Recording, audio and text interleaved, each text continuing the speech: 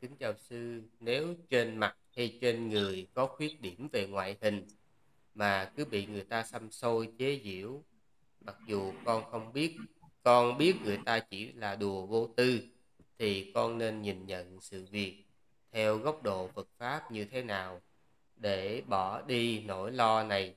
Nhiều người có bảo con can thiệp thẩm mỹ nhưng con sợ ảnh hưởng đến nghiệp quả của mình. À, xin sư cho con lời khuyên thì ở đây á nó có hai vấn đề. Một à, là làm sao để mình à, vượt qua cái à, cái sự à, khen chê của người đời á, nhất là về ngoại hình. Cái thứ hai á, là cái việc mà mình à, phẫu thuật thẩm mỹ thì có can thiệp cái nghiệp của mình hay không? Thì à, nó có nhiều cách thưa quý vị. À, ví dụ như à, chúng ta chỉ nghĩ là ở đây á, do cái ngoại hình này là cái quả của nghiệp. Cho nên ở đây chỉ có lỗi là lỗi của nhân quả, tức là nghiệp quá khứ. Chứ ở đây không có ai có lỗi cả. Thì do cái nghiệp quá khứ mình thì mình phải chịu như vậy thôi. Thì khi mình hiểu như vậy đó, mình cũng không có trách người khác, mà mình cũng ờ, không có phải buồn, lo lắng rồi tự ti về chính bản thân mình. Các cái bậc thánh thì cũng có một vài vị có những cái hình tướng ờ, tương đối đặc biệt. Đó. thì ờ, các ngài cũng không có tự ti về ngoại hình. Bởi vì sao? Bởi vì cái đức của các ngài nó cao tột thành ra nếu như mình khiếm khuyết về mặt này thì mình nên à, bù đắp bằng cái sự vượt trội ở mặt khác. Cụ thể ở đây á, chính là sự vượt trội về giới quý vị cứ giữ giới nha quý vị cứ giữ giới thì khi giới hạnh của mình nó được trong sạch được trọn vẹn thì mình người ta sẽ nhìn mình người ta sẽ nhìn thấy cái giới hạnh của mình. Người ta sẽ kính mình hơn là người ta nhìn về cái ngoại hình của mình. Cái thứ hai á, là mình à, có thể tạo nhiều thiện pháp để mà mình có được những quả lành. Ví dụ như là chúng ta tích cực bố thí nó sẽ cho cái quả giàu sang. Quý vị thấy là nhiều người á, họ mặc dù họ xấu à, rất là xấu mà gọi là kỳ hình dị tướng nhưng mà họ giàu thành ra là ờ, cũng không có ai mà dám ờ, nói năng gì họ. Bởi vì cái tài của họ đó nó vượt qua cái cái ngoại hình của họ. Hoặc như là cái nhà à, bác học là Stephen à, Stephen Hawking thì cả thế giới đều ngưỡng mộ.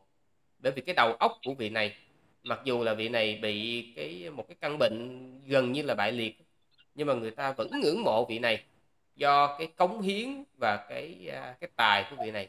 Cho nên quý vị thấy là à, nếu như mình bị khiếm khuyết về mặt này thì mình hãy làm cho nó toàn vẹn về mặt khác.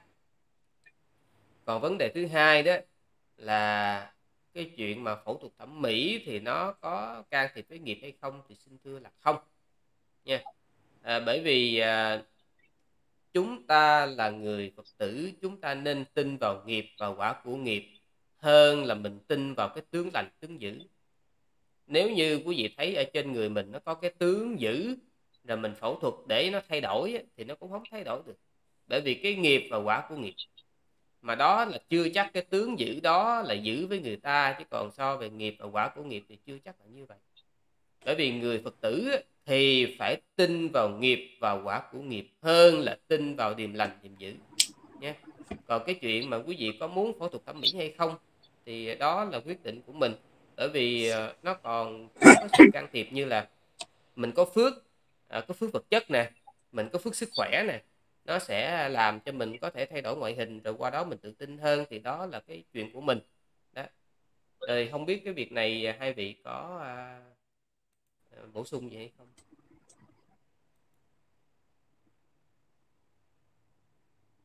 Mời sư chứng tâm. Ôi, cuối cùng ai nói hai màn hình gì ai nói? À, mời sư chứng tâm. Thì uh, vấn đề này á, quý vị có hai cái cách nhìn nhận? Là ở đây á, mình nhìn xuống xong rồi mình nhìn lên tức là nhìn xuống thì mình cũng hơn người ta đó. nhìn lên thì mình ta, mình cũng bằng người ta. Nhưng mà mình thử mình nhìn xuống với những người họ khuyết điểm họ còn hơn mình nữa kìa. Cái điểm họ còn hơn mình nữa. Không lẽ giờ họ tự sát hay là họ làm gì họ cũng phải sống thôi. Cái khuyết điểm mà họ hơn mình nữa. Là mình nhìn lên thì những người bình thường thì mình cảm thấy mình thiếu khuyết. Thế đó là cái ờ, phải chịu do tất nhiên từ quá khứ mình sẽ làm cái gì đó rồi. Nên là mình sinh ra cái, cái cơ thể mình nó bị à, cái khiếm khuyết. Và như vậy ở đây á, mình phải hiểu. Cái nhỏ mà đặt trước cái to nó mới nhỏ còn cái to mà đặt trước cái nhỏ nó mới to. Ở đây nếu mình cứ đu theo cái cái sự nhìn nhận của thế gian về đẹp xấu thì nó không được. Bây giờ một người đẹp trai mình thấy trong người bình thường họ sẽ thua cái người mà đẹp trai chút xíu. Ở người đẹp trai chút xíu họ thua diễn viên ca sĩ diễn viên ca sĩ bằng phạm thiên không? Bằng chư thiên, phạm thiên không? Nó tương truyền rằng á, đức phật ngày 32 tướng tốt thì ngày anh đa tới ba chục rồi thiếu hai cái. Thì ờ, ở đây mình ờ, phải hiểu là nếu mà cứ cứ cứ chạy theo cái sự đu đồ cái thế gian á, về cái cách nhìn nhận của đời sống của cái đời á, thì mình ờ, mình đu theo nổi. Tức là mình không thể nào mà mình nó có cái điểm dừng ở cái sự là, xấu đẹp ở đây còn mà khi mà mình à, có kháng mai mình bị cái khuyết điểm về mà về gương mặt. Ở đây là gương mặt đúng không? À trên mặt. Thì, thì tất nhiên nó là một cái à, điểm yếu của mình rồi điểm yếu rồi. Mà mà mà mà người ta người ta sẽ lợi dụng cái đó người ta sẽ lợi dụng cái à, tình huống đó để người ta gọi, gọi là cười trên nỗi đau cười trên nỗi đau. Thì đây mình phải vượt qua cái nỗi đau. Giống như là bây giờ ờ, mình mình mình không lẽ mình thấy ai đi ra đường bị xe đụng rồi mình không chạy xe? Người ta nói ờ, đi ra bị đụng chết quá rồi thì mình cũng phải chạy thôi. Nhưng mà trong cái chạy chạy đó mình phải cẩn thận mình phải ngó đường mình phải ờ, tuân thủ lực uh, giao thông. Đi đèn đỏ mình ngừng mình không vượt đèn đỏ thì cái tai nạn sẽ ít hơn. Cũng vậy với cái sự kiếm viết này á mình mình phải sống cẩn thận hơn là mình bình thường có nghĩa là ví dụ như bây giờ mình đã kiếm viết rồi mà mình còn làm cái chuyện tầm bậy nữa thì người ta người ta sẽ nói thêm vô là thấy chưa? Bởi vậy cái người như vậy có thể đâu thể nào tốt được. Thì như vậy mình mình càng phải sống cẩn thận hơn đối với đời. Đời họ hở chút là họ chê trách quý vị. Nuôi mình chưa bữa nào chưa nuôi nhưng mà hở chút để trách giống như mấy ông sư đó, làm tốt. Có những chuyện đó quý vị làm tốt chưa chắc ai ai nói gì ai khen gì nhưng mà làm tốt chút xíu bị la bị nói mà huống chi là mình bình thường á mình mình đã kiếm khuyết rồi mà uh, một chút xíu thôi người ta sẽ cộng thêm đó và người ta nói tiếp. Thấy chưa? Cái người mà bị mặt mũi vậy đó bởi vậy đó làm sao mà này nọ. Thì uh, chính vì như vậy cái cuộc sống của mình mình càng càng phải cẩn thận cẩn thận hơn nữa mình cẩn thận trong ăn nói trong lời nói trong sinh hoạt. Thì để để người ta bớt có cớ để người ta dù dập mình à, còn à, cái chuyện mà đi mình đi mình đi thẩm mỹ thì nó nó cũng không can thiệp vào nghiệp quả gì mấy nhưng mà mình thấy cần thiết thì mình làm. Còn à, người ta đó người ta đi thẩm mỹ vì người ta trên cơ mặt người ta có một cái gì đó ta nghĩ rằng là xui. Ờ, cái cái điểm gì đó. Còn uh, mình uh, có cái khiếm khuyết thì mình phải nên tu nhiều vô tu nhiều vô để Ờ, tạo cái phước báo cho mình.